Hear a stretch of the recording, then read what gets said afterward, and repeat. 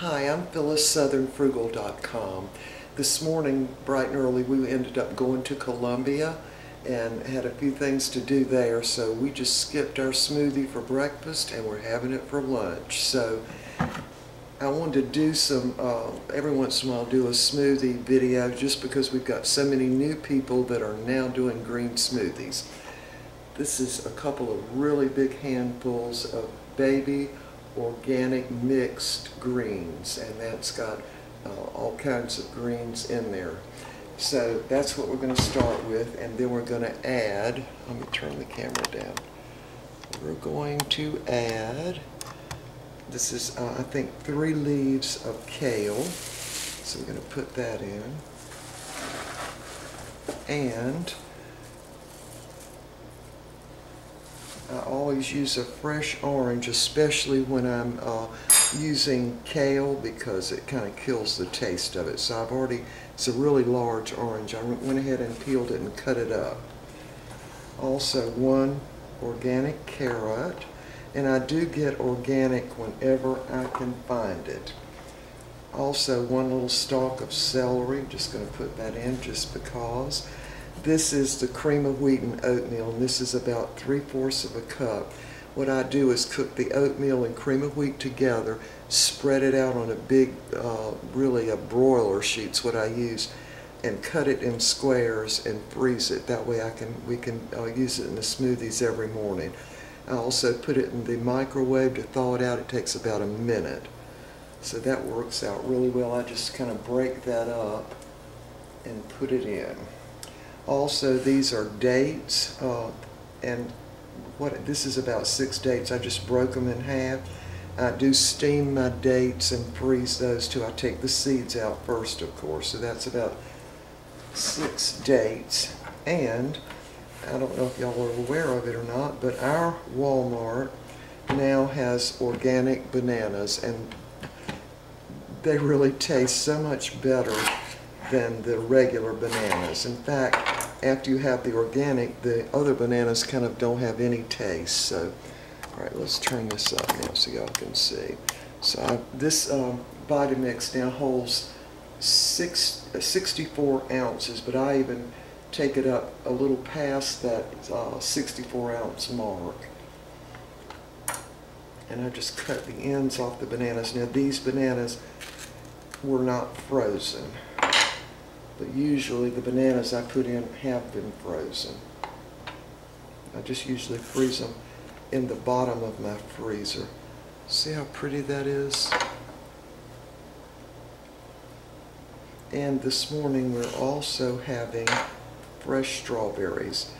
And the reason I bought them is because these strawberries come this time of year from McBee, South Carolina, which is just up the road from us. But they do sell them at our local Walmart. So here are the strawberries. That's about two cups of strawberries. All right, I'm going to have to grind this down a little bit so I can get everything in. So I'm going to add some filtered water to it. It's usually about well, I usually end up adding about two cups. Now, let me find my lid. All right, here we go. And this is um, the 5200 series of Vitamix, and I got it, I think I've had it for four years now. All right, I'm going to turn it on. It's going to be loud.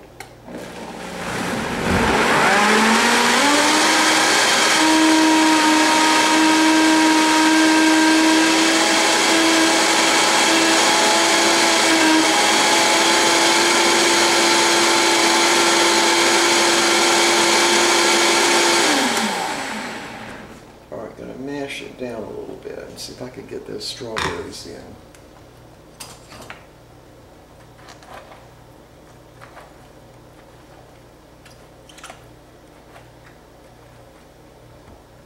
I believe I can. Right, so I'm going to go ahead and put a little peanut butter in there. I say a little because I'm making four 16 ounce glasses, so that's about four tablespoons of peanut butter. sometimes, of course, I use English walnuts. I really like those in the smoothies. Sometimes pecans and sometimes roasted almonds. But we really like the peanut butter with the strawberries. All right. I almost licked that off my finger in front of the camera, which is what I usually do. All right, now just for safekeeping, I'm going to go ahead and add just a couple of tablespoons of honey because I know these strawberries are going to be sour. Just a couple of tablespoons just to make sure it's sweet enough. And we'll just go ahead and put a little more water. That ought to do it. All right, now here we go again.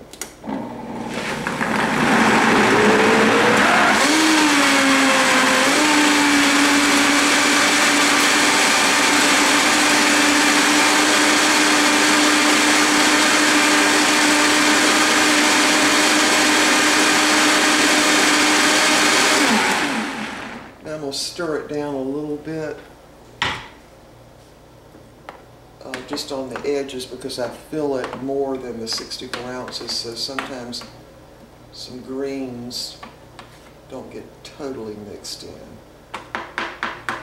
All right, gonna taste of it now. Hmm. It tastes like strawberries and peanut butter. All right, let's go one more time. All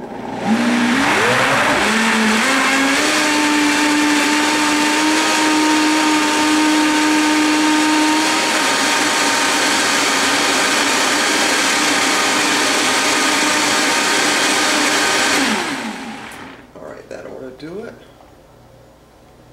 Got uh, a little more than 64 ounces. I have actually filled it almost all the way to the top, and that still works. All right, so these glasses hold 16 ounces. And the balance I'm going to put in a freezer bag. I have this little pan I use. I put it down in the pan and put it right in the freezer. And to thaw it out, wait a minute, all you have to do is put it down in something with some hot water in it, and in about 20 minutes it's all thawed out. So that works great uh, for uh,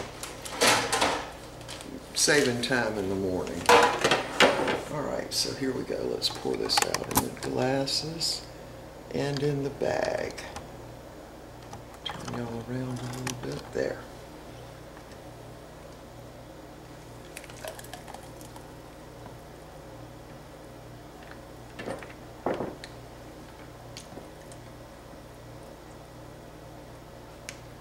Okay, now I pour this in the bag.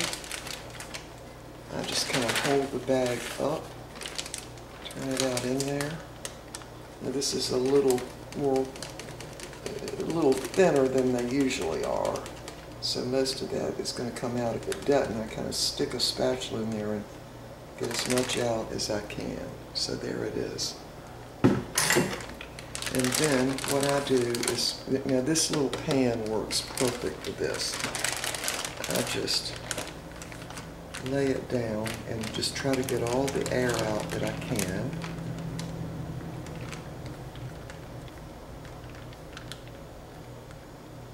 Like that. And just lay it out flat. And I do that just in case the bag would open up. I wouldn't want it to make me have to defrost my freezer. All right, y'all, so that's it.